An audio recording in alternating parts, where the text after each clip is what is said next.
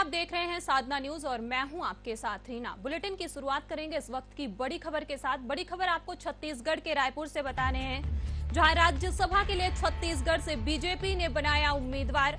आपको बता दें कि राजा देवेंद्र प्रताप सिंह को भारतीय जनता पार्टी ने बनाया अधिकृत उम्मीदवार।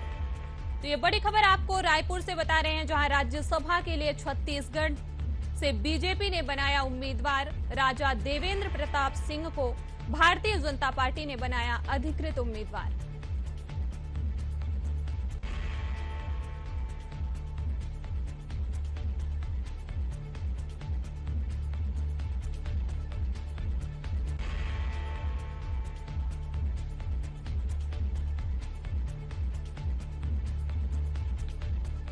इस खबर पर ज़्यादा जानकारी के लिए हमारे साथ आर के गांधी जी जुड़ गए हैं। राज्यसभा के लिए छत्तीसगढ़ से बीजेपी ने नया उम्मीदवार बनाया है। राजा देवेंद्र प्रताप सिंह को क्या कुछ जानकारी है? देखिए, चुनाव आयोग ने छप्पन राज्यसभा सीटों पर चुनाव तारीखों का ऐलान किया है और ऐसे में बीजेपी ने छत्तीसगढ़ से राजा देवेंद्र प्रताप सिंह को राज्यसभा का उम्मीदवार यहाँ पे बनाया है।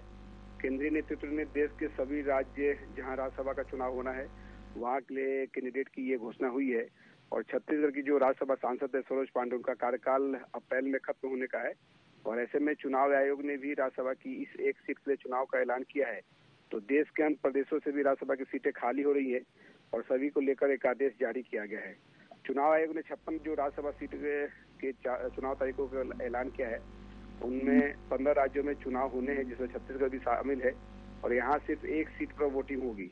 तो साथ ही मैं आपको यहाँ पे बता दूँ कि सरोज पांडे का कार्यकाल जिस तरह से पूरा हो रहा है और 27 फरवरी को सुबह नौ बजे से शाम चार बजे तक मतदान होना है नामांकन की जो अंतिम तारीख रखी गई है, वो 15 फरवरी है और 27 फरवरी को परिणाम आ जाएँगे। तो पहली निर्वाचित राज्यसभा सांसद बनी थी यहाँ पे सरोज पांडे और भाजपा नेत्री सरोज पांडे छत्तीसगढ़ की पहली निर्वाचित सांसद बनी थी। इस दौरान बीजेपी के उनचास विधायक थे, सरोज पांडे के कुल इक्यावन वोट मिले थे और इस तरह से निर्विरोध चुनाव होता रहा है। लेकिन पिछली बार कांग्रेस ने लेखराम साहू को मौका दिया था, लेकिन उन्हें वितरक के चलते पार्टी विधायकों के ही पूरे वोट नहीं मिले थे।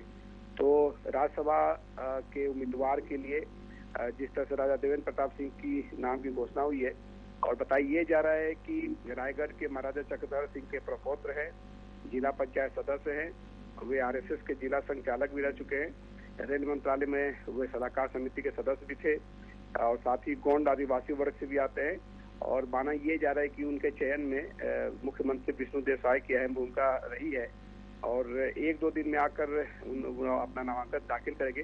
क्योंकि नामांकन की जो अंतिम तारीख है, वो पंद्रह फरवरी है। तो लिहाजा उनके नामांकन की सुबगाहट भी यहाँ पे शुरू हो गई है। और सरगुजा से जहाँ, सरगुजा संभाग से मुख्यमंत्री विष्णुदेव साय आते हैं तो वही लेलुंगा क्षेत्र, सरगुजा संभाग में आता है जहाँ से जिला पंचायत सदस्य हैं।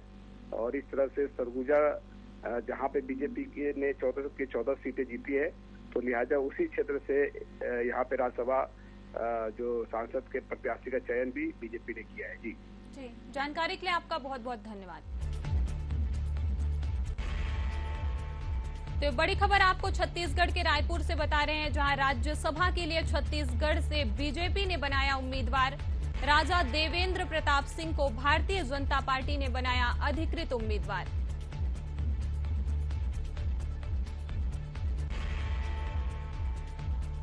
तो ये बड़ी खबर आपको छत्तीसगढ़ के रायपुर से बता रहे हैं, जहाँ राजा देवेंद्र प्रताप सिंह भारत को भारतीय जनता पार्टी ने बनाया अधिकृत उम्मीदवार। राज्यसभा के लिए छत्तीसगढ़ से बीजेपी ने बनाया बनाया उम्मीदवार। राजा देवेंद्र प्रताप सिंह को भारतीय जनता पार्टी ने बनाया अधिकृत उम्मीदवार।